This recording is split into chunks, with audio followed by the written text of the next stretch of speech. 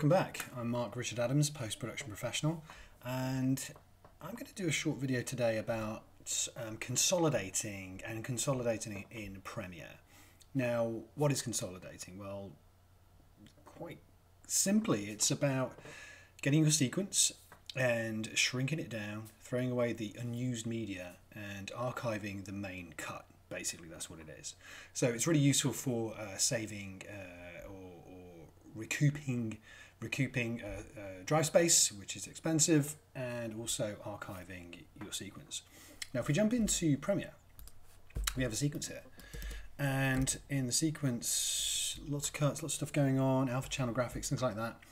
Uh, what we want to do is archive this sequence. Now this sequence, all these clips have got, you know, they, they come from much, much bigger clips.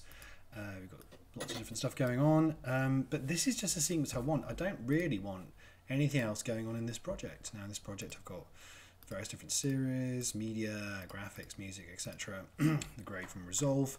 Um, this media actually has been very kindly donated by Unipro, which is a uh, company that uh, runs a YouTube channel for uh, student engagement uh, via professionals. So professionals can give their advice and, and top tips for various things. So thank you to Unipro for allowing us to use this.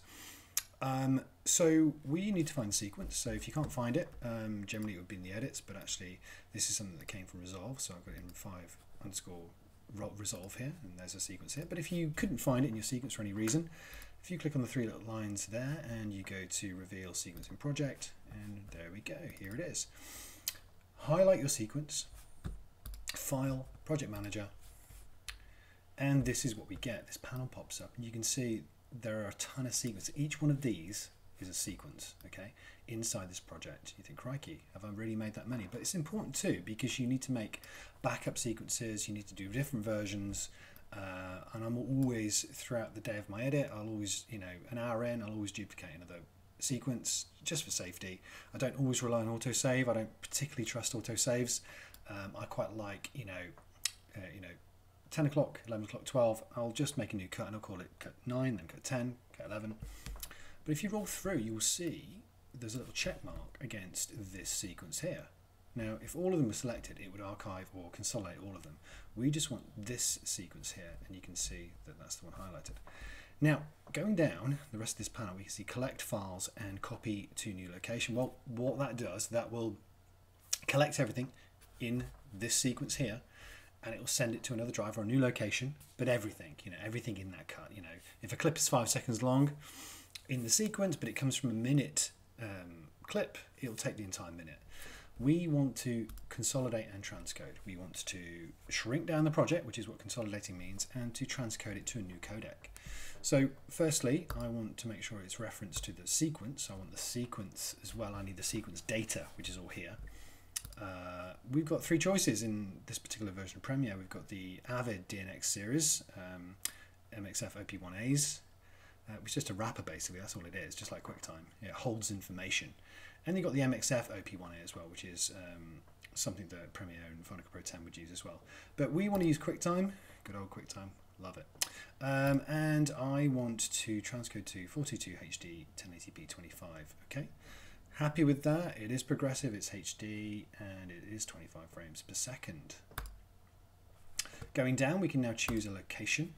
The location for us is, the media initially is actually on this drive, on this CMI media drive, but I want it to go to this one, Super CMI, inside demo, um, and I'm going to create a new folder, and I'm going to call it consolidate underscore. Uh, this particular um, uh, sequence is a VT and underscore, and I'm just going to put the initials of the contributor, and now I'm going to put the date, and the date today is the 19th, the second, 21. Okay, there's our folder that we're going to consolidate to. Okay, that's going to house all of our media, and also it's going to create uh, actually a new Premiere project. So we've got the sequence, we've got what we want to do to the sequence, we have the location. Let's just check, hit calculate, we can actually um, analyze how big the sequence is going to be. So it's going from 106 to 6.83, not bad. Now, if we go to the options, we have got various things. Exclude unused clips. That's fine. We don't want to have things in there that we don't need. include handles. Now, handles are really, really important. Um, what are handles? Well, really loosely, handles are um, uh, media added to the clip at the top and the tail. So if you look at this clip here, this one here, I'm just with my mouse on. Let's say that clip is five seconds long.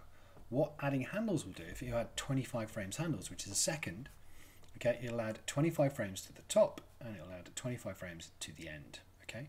Now that won't be shown in the sequence, you'll just be able to roll it, okay? You'll, you'll have an extra two seconds to play with.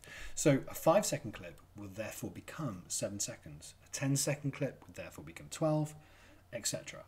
I always like to have the minute just for archive 25 is fine. Uh, don't need the rest. Rename the files yet. Uh, preserve alpha, yes, very important. There are graphics in here. I need to preserve the alpha channel. Click OK.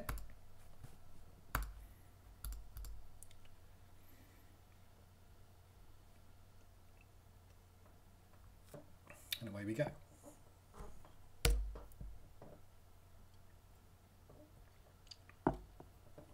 So it's now transcoding the media.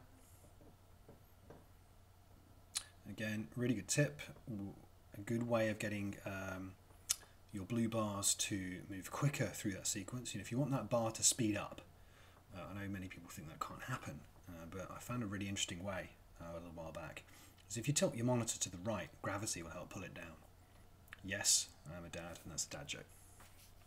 Whilst it's doing that, actually, and sort of going beyond my terrible jokes, if we go to the actual drive that we're looking at, you can see it populate which is quite cool. So it's building here, and if we go to demo. You can see in console.vt, open that up. Uh, it creates this transcoded Unipro series, that's good. Inside there, you can see it populating as we go. So it's building as we go. So you click on any of these clips. Go. There we go. The one with the QuickTime reference is the one it's building at the moment. So let's just speed through this.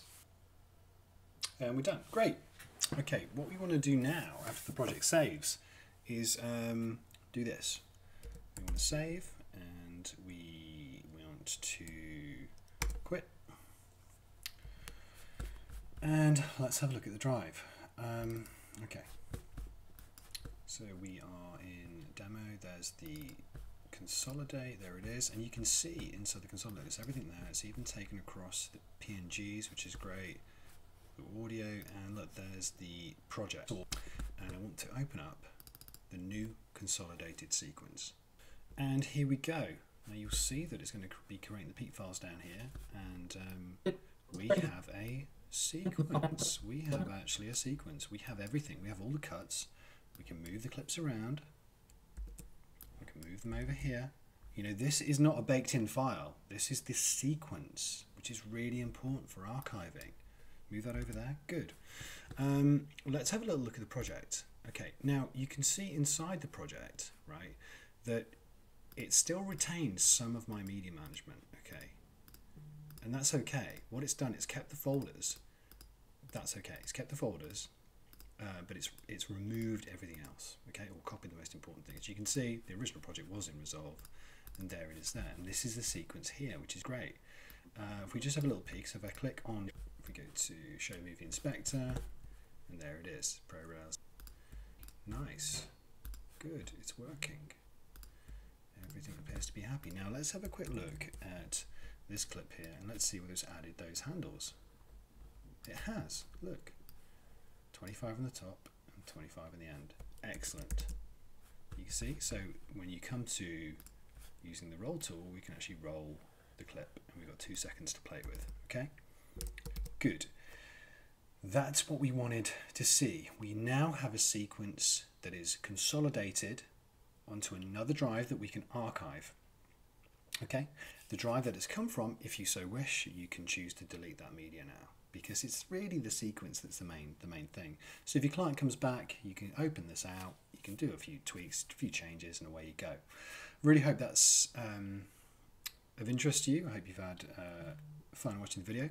Uh, please subscribe to my channel and uh, I'll see you again soon.